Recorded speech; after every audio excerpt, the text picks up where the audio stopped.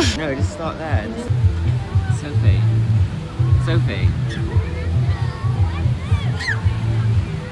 What's going on guys, welcome back to another video and today we're going to be looking at the potato salad in the building, man. What's good? Is that potato salad? music video which was released by ASAP Rocky and Tyler the Creator.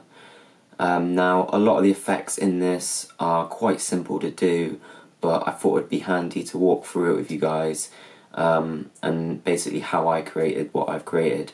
It's really simple. I want you guys to get really creative with it. I'm not going to show you step by step because I feel like the videos drag on too long and you guys don't really want that and neither do I. Um, so I'll show you the final outcome of each one and I'll tell you how to do each one. So I'm going to try to split this into like five or six sections. So yeah, let's get into the video. So I'm going to try break this down into a few sections. Firstly, you want to prepare your assets. It's the most important thing you can do. So as you can see here, I have a folder of all the things I want to use. Basically, you want to make sure everything's got transparency, so you don't have to worry about that in After Effects. And you can do that in Photoshop. I gather you know how to do that. You can use the magic wand, get rid of the backgrounds, or you can mask it with a pen tool. Also, another place which I've used today for some of the text is a website. And basically, what it allowed me to do was create this really funky, jazzy kind of text that you see in the video. So I'll show you that now. So this is where I got the text from. Basically just choose whatever you want and then type in whatever and you can download it as a PNG. So the next part of the tutorial, I'm going to do one of the easiest parts of the video, which is basically the moving text that scrolls up the screen and the GIFs that go along with it, and then like obviously added text. Now this is really easy, basically you want to build up your text, so create what you want to create, change the typefaces, change the colors, add in the cool text from like I showed you, and then what you want to do your, your GIFs, they'll more likely have a background, so you want to mask them by using the pen tool. So just go roughly around them, put a feather on it if you want by pushing F, and you can feather the edges a bit.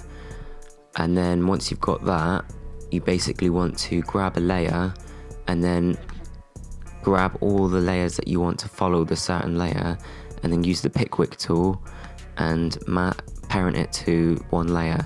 That way when you do the animation, all you have to do is move one. So I keyframed the begin from the bottom position and then went straight up and they all move with it. And you don't have to do multiple keyframes. So the next bit of uh, animation we want to be looking at is this really cool scene where basically the controller moves off with the with the person and kind of does a little flip, and then you get these buttons that come off, and they like score up the screen like this. So yeah, this one's really simple to do as well. Basically, all you want to do is get your footage in, obviously make sure it's all um, uh, at the right size, and then all you have to do is position keyframe it from one spot where she, where the character is, or wherever the person is, and then go to the end point where it goes off the screen, and then keyframe again while moving it, and then go back to the first keyframe and do rotation, and then go to the last keyframe and do one full turn, which is here. And then once you've done that, we want to do the really cool part, which is the X's and O's and triangles and squares that come off the controller. So you want to import your um, so you want to import your images, and then what you want to do is position it correctly where you want. And like you did with the first one, you want to create a keyframe from the first position, and then move it ahead a couple seconds and keyframe it off the screen. And then once you do that, you want to pre-compose the layer because this effect doesn't work work unless you pre-compose it.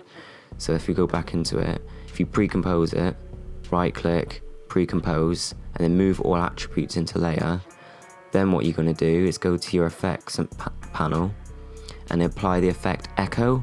If you apply that to this layer, if we go into our effects panel now, and then you want to type in like whatever number. You can get really creative with this. Like this is just a tutorial. I want you to go ahead and do what's blowing your mind basically. And then you just change the echo time a little bit to however much you want it spacing and then basically that's it like the amount of echoes is the amount of times that the X's come out. So the next one is the rainbow that you see in the background. Now this one is a little bit more challenging. You have to have a good shot that's not too too much motion in it otherwise after effects won't pick up the points so like with mine was a little bit too motion too much motion so it tracks fine at the beginning but then it starts to flick out a bit and it doesn't really work so unfortunately I can't show you it fully done but the first few frames worked so uh, basically what you want to do is import your rainbow footage or whatever footage you want to track in the sky and then click the layer and then go up to window and then go to the tracker so click that. And then motion source you want to click your uh, your footage. And then mine's already loaded but basically you want to tick position. And then what you want to do is create a null. So right click new null um, and you'll get your null layer. And then what you want to do is edit the target and then choose your null layer. And then basically you'll get your track point and you want to select on something that will track easily. So I choose this I chose this little orange thing which was quite vibrant so it was quite easy to pick up. Or you could do the yellow part. And then all you want to do is push analyze forward and then let it analyze and you may have to tweak it a bit. Like you could also create this box could be a you could make this bigger so the so the masking point isn't so it's a bit like so the masking point's a bit larger. Um, and then once you've done that all you have to do is click apply and it will apply it to your null.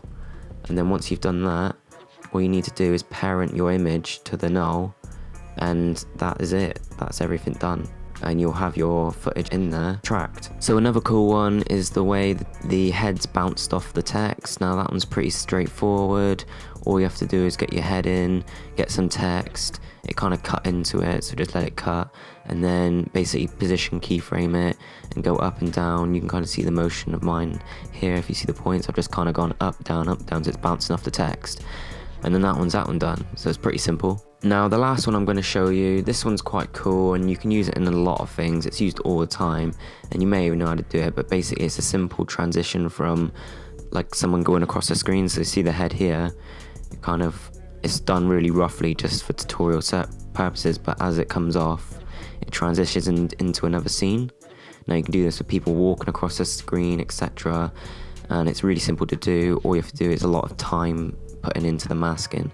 So basically I quite straightforward. Go to the point where you want to start doing the effect, and then you want to start drawing a mask around the object. You want to do it a bit better than what I've done it. To draw your points, and then go go ahead each frame and just tediously move the points so that it looks like it's seamlessly transitioning. So you just keep going, going, and going, and going, and going, and going until it's completely done and off the screen.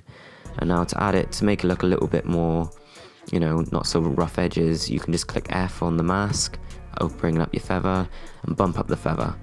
And there you've got it. You've got a nice transition. Make sure the uh, image is below, and there's a nice transition. So yeah, that's all the effects. Ark in the building, yo, what's good? Yo, is that potato salad? Yo, listen to this. I hope you guys enjoyed the video. Be sure to hit that like button and subscribe, and stay tuned for more videos. Peace out.